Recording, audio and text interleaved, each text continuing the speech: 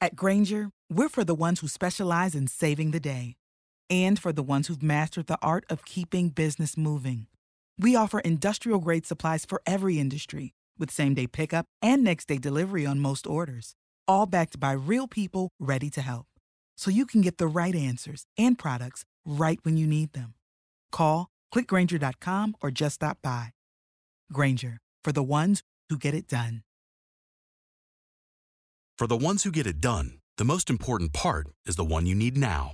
And the best partner is the one who can deliver. That's why millions of maintenance and repair pros trust Grainger, because we have professional grade supplies for every industry, even hard to find products. And we have same day pickup and next day delivery on most orders. But most importantly, we have an unwavering commitment to help keep you up and running. Call, clickgrainger.com, or just stop by.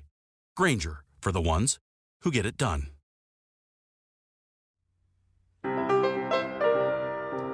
Hey, it's your financial maven, Samantha Mittman Besnoff, CPA. And after almost 25 years in the accounting world, I've decided to share my insights and passion about money. Knowing your money and hopefully feeling less stress about your money is what I call being financially empowered. Welcome to the Your Financial Maven podcast.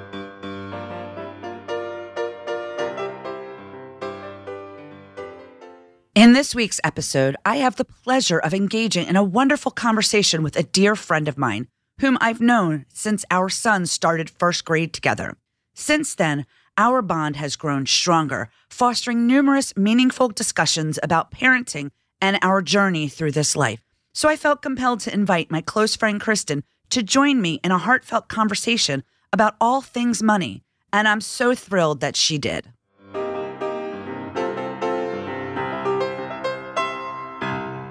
Just so you know, you are the only one I would do this for. A good friend. Talk about I know, and I appreciate things. it.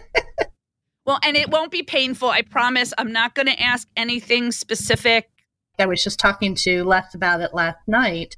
I said, you know, all through my 20s, I did all of my finances on my own. I managed everything.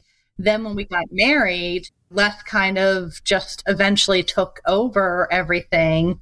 And he managed the finances, and I manage other things like doctor's appointments and other household things. So, do you not pay attention anymore?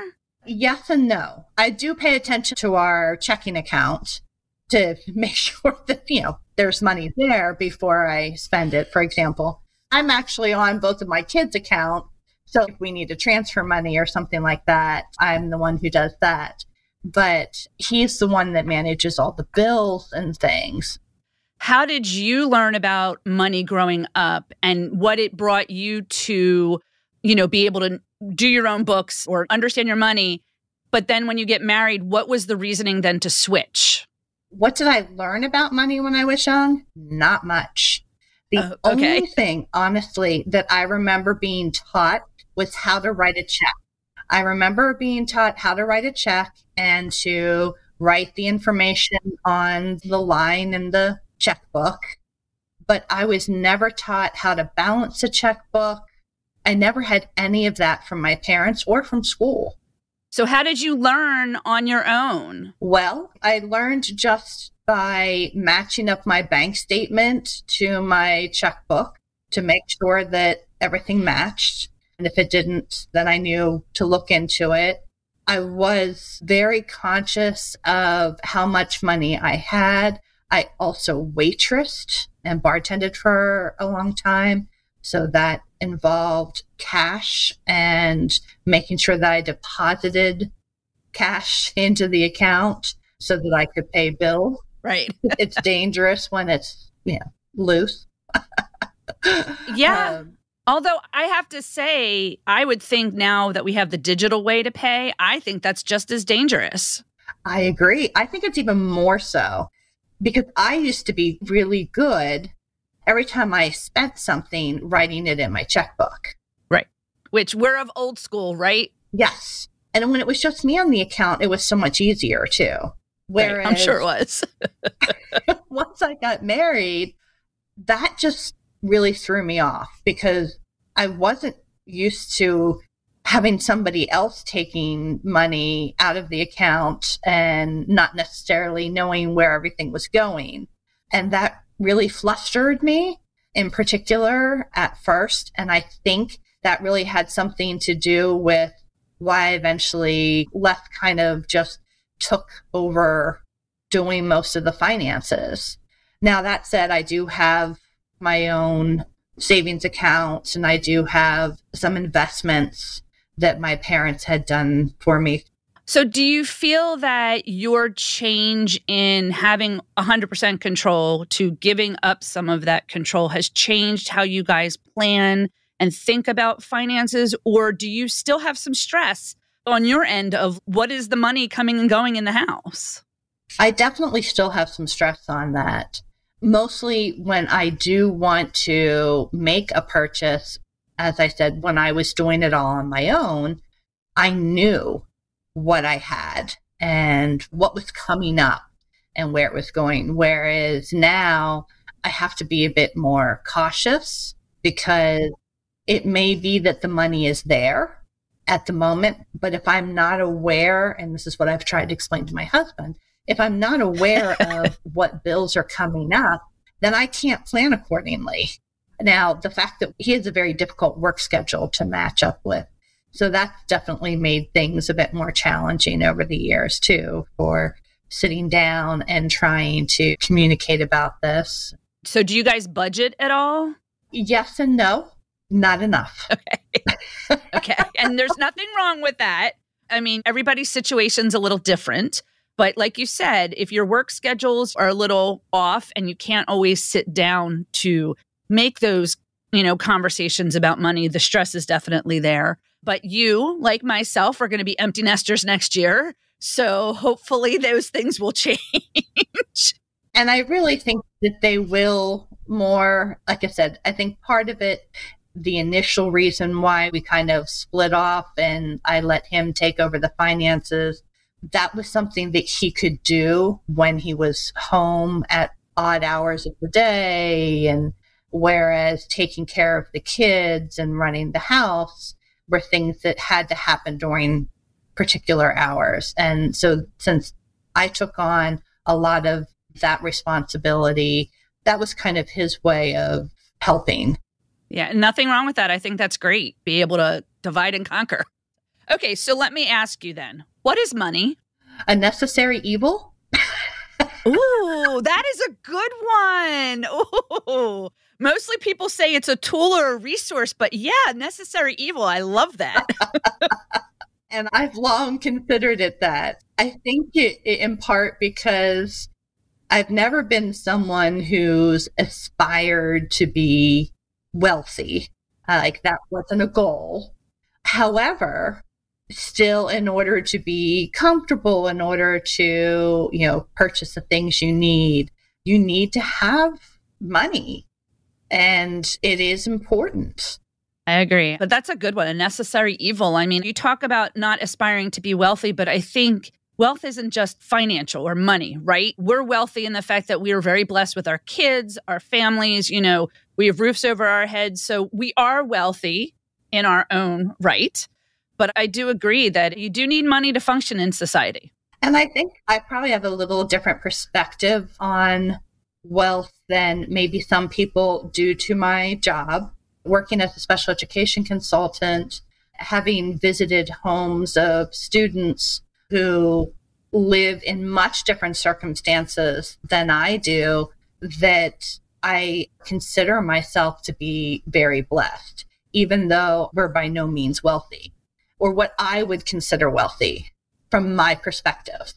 Right, very true. Everyone has a perspective of what it means to be wealthy and how have you and or your husband helped your kids to understand, you know, financial literacy for your kids? Have you done things differently than how you were brought up?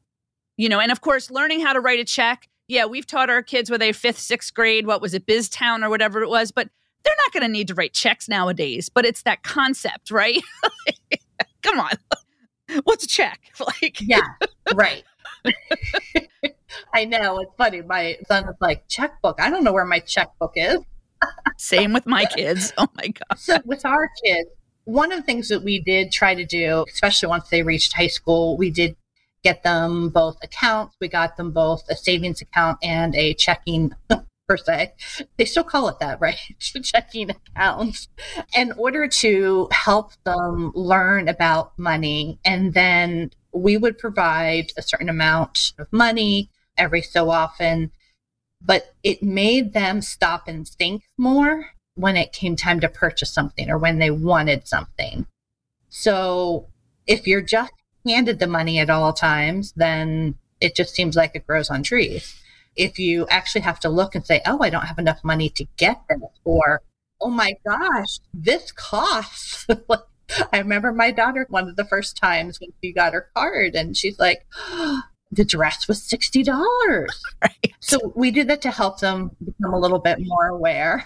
And with my son, we made sure that we helped him establish some credit early on in college. So we got him a credit card that was backed, you know, guaranteed. So we did that with him and he would buy his gas and books, but then he would pay it off so that he was able to establish credit. So he actually right now has very excellent credit, which was helpful when it came time for him to get an apartment because one of his roommates had not done that yet.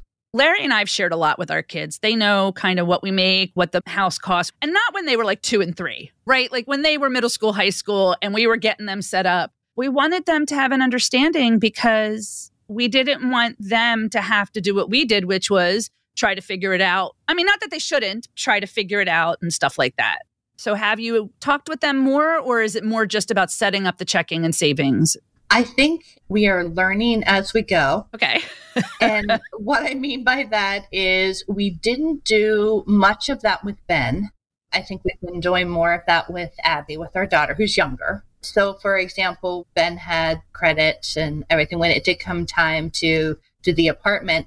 I think he and two of his friends just rented a place for the first time, and it's been very eye opening to him. Oh, I'm sure it has been. The fact that what it says, this is how much rent's going to be, but you also have to figure in gas and electric and internet and all of these other bits and pieces. And now going from being on the meal plan on campus to oh my exactly. gosh, I have to buy my own food plus gas plus a little shell shocked. I'm sure he was. But it has brought us to the realization that we need to do more, that we need to make sure. And I think we had always been very cautious with the kids and not really wanting them to be talking about, oh, you know, this is how much mommy makes, this is how much daddy makes, this is how much, you know. And I think there is something to be said for, I mean, we can teach a lot of things. For example, I know that both kids went through something in high school where they were budgeting and they were given some yeah their financial literacy yeah, class yeah their financial literacy class but it was still just a game to them it's still not real it's just like when people say about you having kids, you don't know what it's like until you're actually there. Very true. But if there's ways to provide the resources and where they can go and the knowledge, I think that's important because I think while schools, some do, some don't do some financial literacy, there's no follow through. And if they go to college or they go out into the real world after they graduate high school, there's nothing there to necessarily give those young adults guidance. And it's important that they understand because they're going to be you know taking care of us in a few years right? So. exactly. But it's not even just about taking care of us it's understanding the financial side of life. And as we move more digitally i mean it definitely makes it challenging. It does. Like i said the combination of the fact that instead of sitting down one day a month and writing out all your checks and putting them in envelopes and putting stamps on and mailing them and then not necessarily knowing when they were going to be cashed or when they were going to be cashed by who you were sending them to or processed to now it can be immediate. And that's a very different way of thinking about it but yet we still have some places that we do checks for. Very true. Some places still have checks and cash but is there any tips or insights that you can give or that you've given to your kids that you can share that, you know, can help others that are out there trying to figure this all out? To continuously be aware of what's in the account and not to spend blindly. Credit card debt is another one. I watched a friend in college get in huge debt. She got multiple credit cards because let's face it, they offer them to you at every store you go to practically anymore. And they're not typically very good credit cards either.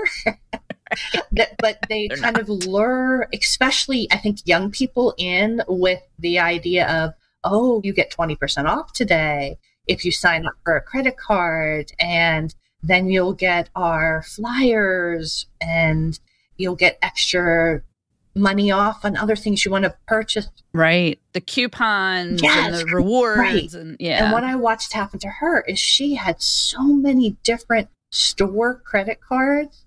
And in some cases she might have only used some of them once, but she still had them and then it got out of control. And I worried when we first set my son up with his card. He's done very well with it. He's very conscious of it. And I feel my daughter is definitely learning. We will be setting her up with one coming up in the near future. But I loved you had shared with a group of us the other day when you were talking about what you did with your oldest son to establish credit.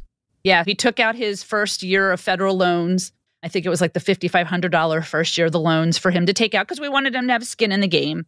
And then we had made the decision not to put him on our cards or do a guaranteed credit card for that first year. So he had a debit card through his bank account, but that first year was kind of a mix. And we made him that summer after his freshman year pay some of the loan back. I think he paid like $50 or $100 back. And that established his credit. And you know, he got a credit card. He didn't have a large limit. I think it was like $500. It was a start. And then he started to use it for gas and some minor things. And we're like, you have to remember to pay it back. And as he's been doing it now, I mean, our kids are going to be seniors in college. So he's definitely built up his credit. I know, I can't believe that. and it's also, we've taught him how to check his credit because you can go, I think it's three times a year, you can get your free credit report. And so you can do that. And it's important because he's had some fraud on his cards already and he's caught it a couple of times and I've taught him what to do. Okay, call the bank back. Don't go through the link they sent you. Go to the back of your card, call your bank, tell them that these transactions are not yours and you have to work with them. And they have. But that's what we did to establish his credit on our end. And I thought that was a great idea because, like I said, that was never something that I had thought of that I even really realized would be a possibility to, to establish credit. Well, yeah, I mean, they're paying back a loan, right? So they have a loan on their credit and now they're showing them that they can pay it back. It's time for a money break. Judy was boring. Hello. Then Judy discovered chumbacasino.com. It's my little escape. Now Judy's the life of the party. Oh, baby, Mama's bringing home the bacon. Whoa. Take it easy, Judy. The Chumba life is for everybody. So go to ChumbaCasino.com and play over 100 casino style games. Join today and play for free for your chance to redeem some serious prizes. Ch-ch-chumba. ChumbaCasino.com. No purchase necessary. Void where prohibited by law. 18 plus terms and conditions apply. See website for details. Okay, round two. Name something that's not boring. A laundry? Ooh, a book club. Computer solitaire, huh? Ah. Sorry, we were looking for Chumba Casino. That's right. ChumbaCasino.com has over 100 casino style games. Join today and play for free for your chance to redeem some serious prizes. ChumbaCasino.com. No purchase necessary. Full prohibited by law. 18 plus terms and conditions apply. See website for details. Welcome back from our money break.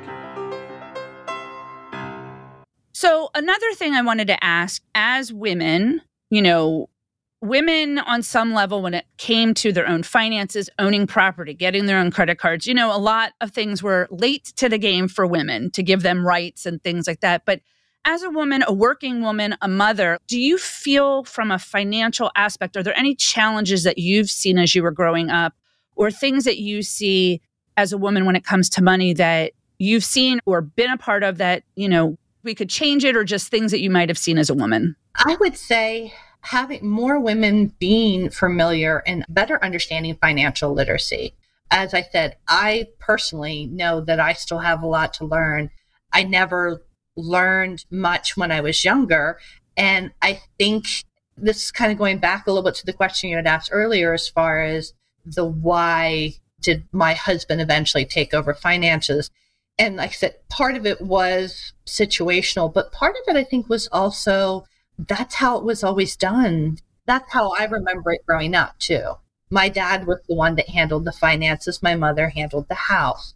My mother handled things inside the house. My dad did the outside work. And so that kind of cultural or, you know, expectation that these are the roles that we play. Now, in our case, my husband's schedule, he was driving a truck at the time. That kind of reinforced the need for some of those roles. Right, because you were working full time as well. So during the day, if a call had to be made, it was probably easier for him to make the call than for you to take time from work to do it. So, yes, there's definitely that. I mean, we both grew up in that regards of it being old school. But even as a woman, like you said, you did do things on your own. Like when you were in college and before you met Les and married Les, like you had to kind of take that reins. And did you feel as a woman that it was more challenging at that time to do certain things? I definitely think it was less expected. I didn't get married until I was 30. So all through my 20s, I was on my own and managing my own money and my own living arrangements, like everything. I did my own taxes. So I think that it was more challenging the fact that I had never really been taught any of that. When I met my husband and we moved to Lancaster, we still had our separate accounts because we weren't married yet. And I debated, you know, when we got married, we did combine everything, which is fine. But I do most of the books in the house. I mean, Larry has a good understanding and he knows what's going on, but I'm the one that handles it because I can't. Right. I guess. Right. So, is there anything else when it comes to money or knowing money or understanding money that you'd like to share? Any kind of time when there was a challenge? Well, I would say the one other thing that I experienced in particular that was probably very impactful was when my husband and I got married, I had debt from going to get my master's. He was carrying debt from his previous marriage. He and his past wife had gotten pulled into some insurance scam, which was just ugly. So, between the two things, we had a lot of debt to the point where we went, and this is going to be shocking to people, credit card free for five years while we paid it off. Nothing wrong with that. No. I mean, it's hard, right? It's very hard. The reason why I say it's shocking is because I remember during that time, for example, for work, if I needed to go to a conference or something, we typically, through my job, have to pay for it first and then we get reimbursed after we successfully complete the course or the conference. And how challenging that was for me because we weren't using credit cards. And they're like, well, just put it on your credit card. I'm like, you don't understand. That's not an option. Right. It's not an option. Right. So for five years, Wow. you know, and it was really tough. I'm sure it was. I mean, I remember going to the grocery store and getting to the end of the line and there not being money in the account to pay for the groceries. And Oh, no. that, you know, horrible feeling. But I would also say that people would have been surprised that we were doing that or that we were struggling with that because we were both working. And I think that's a misconception sometimes too that people think that if both spouses are working, everything should be fun. But you had debt. Like, if you didn't have that kind of debt, not saying you guys wouldn't have been struggling or had issues, it's a little different when your paycheck is not just going to your basic daily living, you also have to pay off your debt. And how do you balance that? But people sometimes, I think, don't think when they start acquiring that debt as well, how impactful that can be. You're going to have to pay it off at some point. So I think that's a piece that we've been working very hard with our own children to really understand too. You know, that was the reason why I stayed home was because, yeah, we could have put the kids into daycare and I could have worked full time. But for us, we looked at it as, but if I did that, we're not going to have anything to put away for savings or help to support this or that because daycare can be expensive. And if you need it, absolutely. Like, I'm not saying not do daycare. I'm saying for our situation, it didn't work. But besides me staying home and making that decision for our family, there were some other things that I did to make sure we kind of knew what was going on. And I would go every month and I look at what bills are due, what's the cash flow, you know, first of the month, middle of the month, end of the month. And then if there's money left over, I do put some away in savings. Yeah. And I have it automatically, like even with my paycheck, it automatically, some of it goes, I have it deposited into savings. And I use it kind of as a backup. Okay, there's something we need to get, or, you know, need to share some money with the kids. But that's smart you can actually do that with your direct deposit that you can say split it between my checking and savings, do a percentage, and then you know that every month 10% or whatever's going into savings. That's a great idea. Yeah, and I've done that for a long time. I think I started that after we joined accounts because I felt like I needed one account that I knew what was in there. Well, you know, it's interesting. I had interviewed a couple of enrolled agents, they're tax preparers and stuff like that.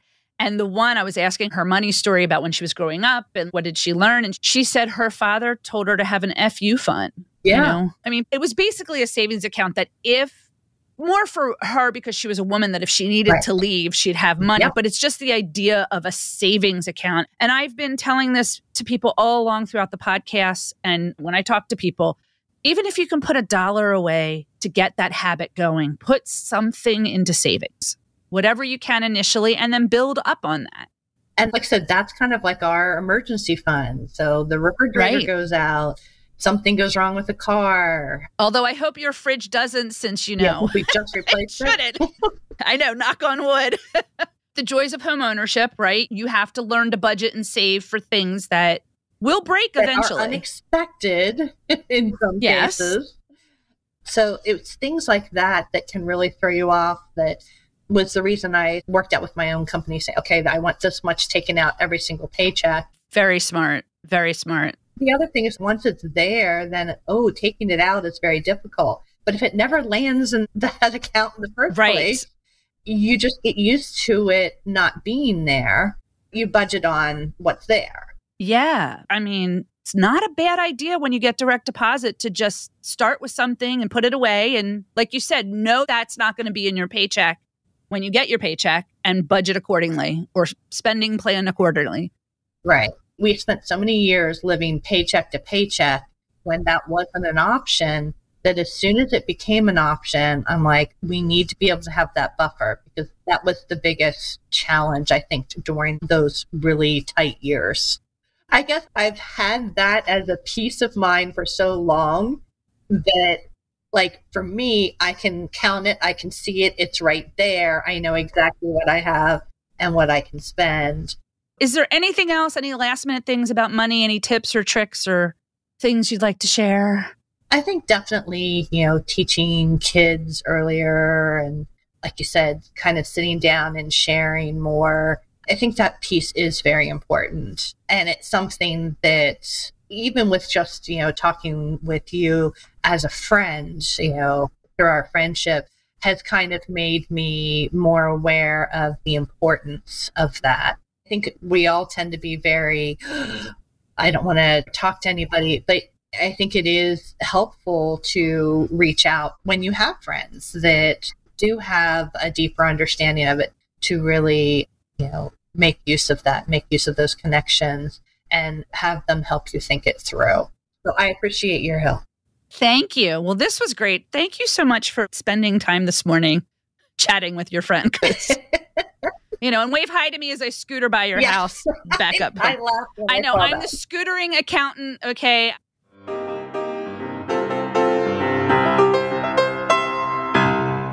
I want to hear from you. Do you have questions about money? Would you like to share your money stories with me, like a time when you felt really stressed about money? Visit www.yourfinancialmavenpodcast.com and leave me anything you want to tell me about money. The purpose of this podcast is to provide general information on the subjects discussed. It is for educational, informational, and entertainment purposes only. you should consult your CPA, accountant, or tax professional for all of your specific financial needs or situations. Credits Producer, Your Financial Maven LLC, and Samantha M. Besnoff, CPA. Music, composition, writing, and recording by my amazing cousin, Dan Shore. Podcast editing by Kris Zarnoch of KMZen Creative. A special thank you to the Seneca Women Podcast Network and iHeartRadio, and to P&G and MasterCard for creating and sponsoring the inaugural class of the Seneca Women Podcast Academy. A special thank you to my mentor, Katrina Norvell, for guiding and giving me the confidence that I needed when I didn't think I could do this. A special thank you to all of the women who are also a part of the Seneca Women Podcast Academy. You are some of the most amazing, brilliant, bright women that I know, and I am so blessed to be a part of this group with you. I am so excited for all of your podcasts and where things will go for all of us. And a very special thank you to all of my family and my friends. You know who you are. Without your love and support for me and my life changing aspirations, I would not be where I am today. Thank you. Your Financial Maven is a production of the Seneca Women Podcast Network and iHeartRadio. For more podcasts from iHeartRadio, check out the iHeartRadio app, Apple Podcasts, or wherever you listen to your favorite shows. Judy was boring. Hello. Then Judy discovered ChumbaCasino.com. It's my little escape. Now Judy's the life of the party. Oh, baby, Mama's bringing home the bacon. Whoa, take it easy, Judy. The Chumba life is for everybody. So go to ChumbaCasino.com and play over 100 casino style games. Join today and play for free for your chance to redeem some serious prizes. ChumbaCasino.com. No purchase necessary. Void where prohibited by law. 18 plus terms and conditions apply. See website for details. Wells Fargo presents one of the surest ways to grow your money a Wells Fargo CD account where you can earn a 5.00% annual percentage yield on an 11 month term with a minimum opening deposit of $5,000. Visit a Wells Fargo branch or wellsfargo.com backslash CD rates to open a CD account and start growing your savings with us. Wells Fargo Bank NA member FDIC.